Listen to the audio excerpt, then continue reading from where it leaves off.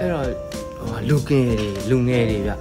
အဲကျွန်တော်လည်းလူငယ်ပါပဲလူငယ်တွေကဘာဖြစ်ချင်လဲဆိုတော့ပတ်စံအရန်ရှိချင်တယ်နောက်တစ်ခါအရန်အောင်မြင်ချင်တယ်နောက်တစ်ခါအလုပ်အရန်လုပ်ချင်တယ်ဒါပေမဲ့ဘာလုပ်ရမလဲမသိဘူးဘယ်ဟာစလုပ်ရမလဲလည်းမသိဘူးဘယ်လိုအလုပ်မျိုးလုပ်ရမလဲမသိဘူးဘယ်လိုအလုပ်က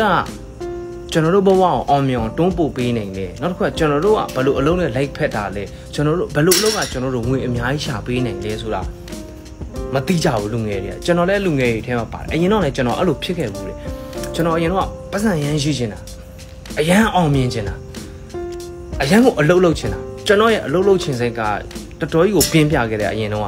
ဘာလို့လုပ်လို့ချင်လဲမင်းပတ်စံရှိချင်တယ်အောင်မြင်ချင်လို့အခုလူငယ်တော်တော်များများကလည်းကျွန်တော်နဲ့တိကွင်းရတဲ့လူငယ်တော်တော်များများအဲ့လိုစိတ်တွေရှိနေတယ်ဒါပေမဲ့သူတို့ဘာဖြစ်လဲဆိုတော့ဘာလုပ်ရမလဲမသိဘူးအလုပ်ကိုဘယ်လိုစားရမလဲမသိဘူးဘယ်လိုလုပ်ကသူတို့ဘောက်ကောင်းကောင်း support လုပ်ပေးနေလဲသူတို့မသိဘူး အဲ့ဆိုတော့ဒါပေမဲ့ကျွန်တော်ကကျွန်တော်ကအလုပ်တွေတော်တော်များများကိုလုပ်ခဲ့ပူပြီးသွားပြီပေါ့နော်ကျွန်တော်မလုပ်တဲ့လုပ်ငန်းဆိုတော်တော်ကြီးကိုနဲတယ်အဲ့ဆိုတော့လုပ်ခဲ့တဲ့လုပ်ငန်းတွေထဲမှာဘယ်အလုပ်မဆိုချမ်းသာအောင်လုပ်ပေးနိုင်တယ်ဗျဘယ်လုပ်ငန်းမဆိုချမ်းသာအောင်လုပ်ပေးနေဘယ်လုပ်ငန်းမဆိုတထေးဖြောင်လုပ်ပေးနိုင်တယ်ရွှေဆိုင်လုပ်ငန်းလုပ်မလားဘီယာဆိုင်ဖွင့်မလားလက်ဖက်ဆိုင်ဖွင့်မလား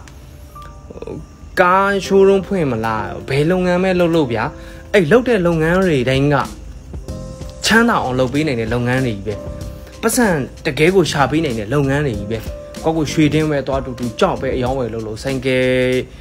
ဝက်ရှော့ပဲထောင်ထောင်ဝက်သားတုတ်ထိုးပဲရောင်းရောင်းများဘာအလုပ်ပဲလုပ်လို့အဲ့ဒီအလုပ်တွေမှန်သမျှကကိုယ့်ကိုချမ်းသာအောင်လုပ်ပေးနိုင်တဲ့အလုပ်တွေကြီးပဲဒါပေမဲ့တခုတော့ရှိတယ်ဘာဖြစ်လဲဆိုတော့ကိုကအဲ့ဒီအလုပ်တွေအားလုံးကိုလိုက်လုပ်လို့ရတော့မဖြစ်ဘူးတခုပဲလုပ်လို့ရရင်အဲ့ဒီအလုပ်တွေထဲက အဲ့တော့အဲ့ဒီအလုပ်တွေထဲကကိုကစားလို့မယ်ဆိုရင်တခုပဲရွေးလို့ရမယ်အဲ့တော့အဲ့ဒီအလုပ်တွေထဲမှာတခုကကိုအလုပ်ချင်ဆုံးအလုပ်ကဘာလဲအဲ့ဒါကိုနံပါတ်1စဉ်းစားရမှာနောက်တစ်ခုကကိုနိုင်တဲ့အရင်အနည်းကဘယ်လုပ်ငန်းလဲအဲ့ဒါကိုအရင်ဆုံးစဉ်းစားရမှာနောက်တစ်ခုကကိုအကျွမ်းကျင်ဆုံးလုပ်ငန်းကဘာလဲအဲ့ဒါကိုစဉ်းစားရမှာအဲ့တော့အဲ့ဒီခုနပြောတဲ့လုပ်ငန်းတွေအများကြီးထင်မှာမှာတခုကိုကိုကရွေးလိုက်ပြီးကိုဝါသနာပါဆုံးကိုအလုပ်ချင်ဆုံးအလုပ်ကဒီအလုပ်ပါဆိုရင်အဲ့ဒီအလုပ်ကို ကိုဘယ်လောက်ထိကျွမ်းကျင်မှုရှိနေပြီလဲအဲ့ဒါကအရေးကြီးတယ်ကျွန်တော်တို့ဘယ်အလုပ်မဆိုကျွမ်းကျင်မှုမရှိဘဲနဲ့တွားလုပ်လို့မရဘူးအမှအကုန်ဆုံးရှုံးတာ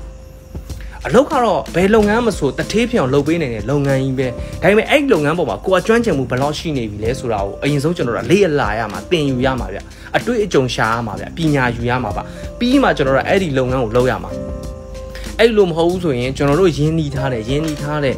ငွေတွေကအလဟားသာဖြစ်ပြီးတော့ဆုံးရှုံးသွားမှာအဲ့ဒါလုံးဝသေချာပေါ့ပဲကျွန်တော်အများကြီးတွေ့ကြုံခဲ့ပြီးမျိုးဒါအတွေ့အကြုံလေးကို sharing လုပ်ပေးတဲ့အနေနဲ့ပြောပြတာနော်အဲ့တော့ဒီမှာဒီညမလေးမေးထားတဲ့ဟာလေးပေါ့နော်သူတို့ကတဲ့လွန်ခဲ့တဲ့12နှစ်လောက်ကသူတို့ရဲ့အင်ချမ်းမြေကိုသူကရောင်းထားပြီးသားတဲ့ရောင်းထားပြီးသားကိုအဲ့ဒီဝယ်တဲ့သူကအခုကြမှာအဲနာမည်ဖောက်ချင်တာပေါ့နော်သူတို့ရောင်းတော့ကတော့ SP ပေးခဲ့တဲ့ဒါပေါ့နော် special power ပေးခဲ့တာ အဲ့တော့အခုကြမှာသူကသူ့နာမည်ဖောက်ချင်တော့သူတို့လာပြီးတော့ဆက်သွယ်တယ်ဆက်သွယ်တော့အဲအခွန်ကိစ္စစကားတွေပြောလာတယ်တဲ့အဲ့တော့အဲ့ဒါလေးကိုသူတို့ဘယ်လိုလုပ်ရမလဲဆိုတော့အဲအခုညီမတို့က SP ပေးထားတဲ့သူဖြစ်တဲ့အတွက်အဲ့ဒါမြေစင်းရုံးမှာဟောအခွန်ဆောင်ရမယ်ပြီးရင်နောက်တစ်ခါစာချုပ်ချုပ်ရမယ်ပေါ့နော်အဲ့လိုချုပ်တဲ့အချိန်မှာအဲ့ဒီလွန်ခဲ့တဲ့12နှစ်က ရောင်းဈေးနဲ့အခုရောင်းဈေးကမတူတော့ဘူးပေါ့နော်လွန်ခဲ့တဲ့12နှစ်ကဇုံလုံးတတ်မှတ်တဲ့ဈေးနဲ့အခုလက်ရှိအစိုးရဇုံလုံးနဲ့တတ်မှတ်တဲ့ဈေးကလည်းမတူတော့ဘူးအဲ့တော့လွန်ခဲ့တဲ့12နှစ်ကအဲ့မြေကွက်က3000ဆိုရင်ဒီချိန်မှာ3000လည်းဖြစ်ဖြစ်နေမယ်3000လည်းဖြစ်ရင်ဖြစ်နေမယ်ဒါကအပြင်ပေါက်ဈေးနောက်တစ်ခုကအစိုးရသတ်မှတ်တဲ့ဈေးကကြတော့အဲ့တုန်းက300ဆိုရင်အခုက3000လည်းဖြစ်ရင်ဖြစ်နေမယ်3000လည်းဖြစ်ရင်ဖြစ်နေမယ်အဲဆိုတော့နေရာပေါ်မူတည်ပြီးတော့ဇုံလုံးသတ်မှတ်ချက်တွေ꿰ပြတယ်အဲ့မှာအခွန်ကဆောင်ရတော့မယ်အဲ့ဆိုအခွန်ဆောင်ရတော့မယ်ဆိုတော့ ဝယ်သူကတော့သူတေချာပေါက်သူဝယ်ကုန်ဆောင်ရမယ်အဲ့တော့အရင်တော့ဆိုရင်ပြဿနာမရှိရင်အခုရောင်းတဲ့သူကအခုရောင်းကုန်ဆောင်ရပြီအဲ့တော့ညီမလေးတို့အနေနဲ့ဒီမြေခွက်ကိုသူ့နာမည်ပေါ့လုတ်ပေးလို့ရတယ်ဒါပေမဲ့ဘယ်လိုလုတ်ပေးမလဲဆိုရင်ရောင်းကုန်ကိုအဲသူတို့ဆောင်ခိုင်းအောင်မယ်အဲ့တော့ညီမလေးတို့အနေနဲ့ SP သူတို့ပေးထားတာဖြစ်တဲ့အတွက်သူတို့ကိုနာမည်ပေါက်အောင်လိုက်လုပ်ပေးလို့ရတယ်အဲ့တော့ဒါပေမဲ့ရောင်းကုန်ကိုသူတို့ဆောင်ခိုင်းအဲ့တော့ရောင်းကုန်သူတို့ဆောင်ပေးမယ်ဆိုတာကိုလည်း ဟိုဟာရှင်းနေတွေနဲ့စာချုပ်ကိုချုပ်နော်ပြီးတော့လို့ရှိရင်နောက်တစ်ခုက SP ပေးထားတဲ့သူကနောက်တစ်ချိန်မှာသူနာမည်ဖောင်းရင်တကယ်လို့လိုက်ပြီးတော့အဲ့အမှုကိစ္စတွေလိုက်လုပ်ပေးရတယ်ဆိုရင်နောင်တစ်ချိန်မှာနော်ဝယ်ဝယ်ပြီးချင်းဆိုရင်တော့လိုက်လုပ်ပေးရမှာတောင်းရှိတယ်ဒါပေမဲ့နောင်တစ်ချိန်မှာလုပ်တယ်ဆိုရင်ဒီမြေလောကမှာကဒီလိုက်လုပ်ပေးတဲ့သူကိုဟိုထိုက်တဲ့နဲ့ ငွေကြီးတစ်ခုပေးရတာလေးရှိတယ်ပေါ့နော်အဲ့ဒါတော့ block ဆိုတာမျိုးတိတိကျကျသတ်မှတ်ထားခြင်းမရှိဘူးအဲအပြင်မှာစုံစမ်းကြည့်လိုက်ပေါ့နော် block တွေယူနေကြအကူကဒီကနေမပြောတော့ဘူး block ယူကြတယ်ဆိုတဲ့ဟာဟာမျိုးပေါ့နော်အဲ့တော့အဲအဲ့ဒီတော့အဲ့ဒီဈေးနှုန်းလေးတစ်ခုကိုအဲညီမတို့ကသူတို့ဆီကနေတောင်းလို့ရတယ်အဲ့ဒါဘာအတွက်လဲဆိုရင်ညီမတို့ကအဲမြေစင်းအောင်မှာပကားစာချုပ်လိုက်ချုပ်ပေးရမယ်နောက်တစ်ခုကအကျန်းငိန်တွေလိုက်လုပ်ပေးရမယ်နောက်တစ်ခုက105ထုတ်လို့ရှိရင် အဲ့မှာညီမတို့လိုမလားမသိဘူးအဲ့ဒါတွေလိုက်လုပ်ပေးရမယ်ပေါ့နော်အဲ့တော့ညီမတို့ကအဲ့ဒါတွေဝန်ဆောင်ခအနေနဲ့ဥမာလမ်းစရိတ်ကားစီဖို့ဘာညာဒီတော့ပေါ့နော်အဲနောက်တစ်ခုကကိုလုတ်ပေးရတယ်လုတ်ပေးကပေါ့နော်အဲ့ဒါလေးတွေတော့ဝန်ဆောင်ခတောင်းလို့ရတယ်အဲ့တော့အပြင်မှာဈေးတောင်းတဲ့ဈေးတွေစုံစမ်းကြည့်လိုက်နောက်တစ်ခုကကြတော့ရောင်းကုန်ပေါ့နော်ရောင်းကုန်သူတို့ကဆောင်ပေးပါမယ်ဆိုတဲ့ဟာကိုရှင်းနေတဲ့စာချုပ်ချုပ်အဲ့ဆိုတော့အဲ့ဒါအကုန်လိုက်လုတ်ပေးလို့ရတယ်ပေါ့နော် အဲ့တော့မြေလုပ်ငန်းကအရန်ငွေရှာရလွယ်တာလားတဲ့မြေလုပ်ငန်းနဲ့ဆိုရင်အရန်ချမ်းသာလွယ်တာလားတဲ့တချို့ကမြေလုပ်တဲ့သူဆိုရင်အရန်ချမ်းသာတယ်လို့ထင်ကြတယ်နောက်တစ်ခါမြေလုပ်ငန်းကိုတချို့က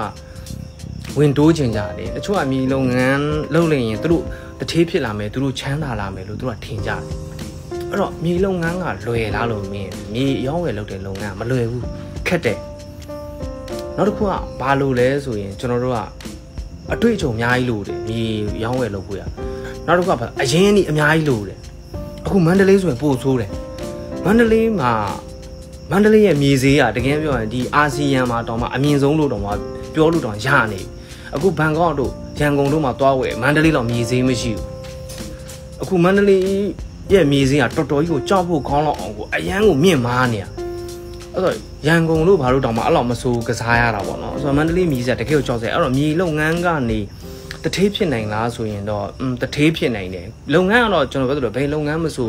ကိုသာတကယ်ဒီလုပ်ငန်းပေါ်မှာကျွမ်းကျင်မှုရှိတယ်ဒါမှမဟုတ်တကယ်အာယုံစိတ်မှုရှိတယ်ကိုယ့်ရဲ့စိတ်ဆန္ဒကအရန်ကြီးကိုပြင်းပြနေတယ်အဲ့အတွက်ကို့မှာလုံလောက်တဲ့ငွေကြေးအင်အားအရင်းကြီးကလည်းရှိတယ်ဆိုရင်ဘယ်လုပ်ငန်းမဆိုတထေးရဖြစ်တယ်မြေလုပ်ငန်းမှာမဟုတ်ဘူး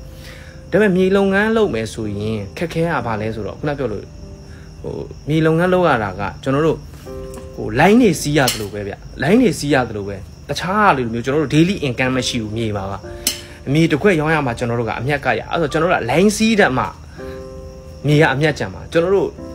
ဟိုဘယ်လိုပြောမလဲကစားတတ်တဲ့သူအကွက်ကိုမြင်တတ်တဲ့သူအကွက်ကြော်ရွှေ့တတ်တဲ့သူတော်တော်ကြီးကိုလဲလဲဝဲဝဲနဲ့ဒီလုပ်ငန်းနဲ့ကျွန်တော်တို့ရဲ့အုံတော့ကိုချိတ်ဆက်ပြီးတော့အတုံးချနိုင်တဲ့သူကသာလျှင်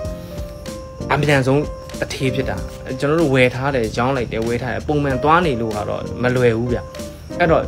ဒီကျွန်တော်တို့မြေလောကမှာလည်းကားလောကလိုပဲ line တွေ line တွေရှိတယ်အဲ့ဒီ line တွေစီးတယ်မှာတထေးဖြစ်မှာအဲ့လိုအဲ့တော့မြေလုပ်ငန်းကခုနပြောတချို့ညီလေးလာမိတယ်လွယ်သလားပေါ့ဒီလောကထဲဝင်ကျင်ပါ냐ဆိုတော့အဲမြေလုပ်ငန်းကအရင်နီးလိုတယ်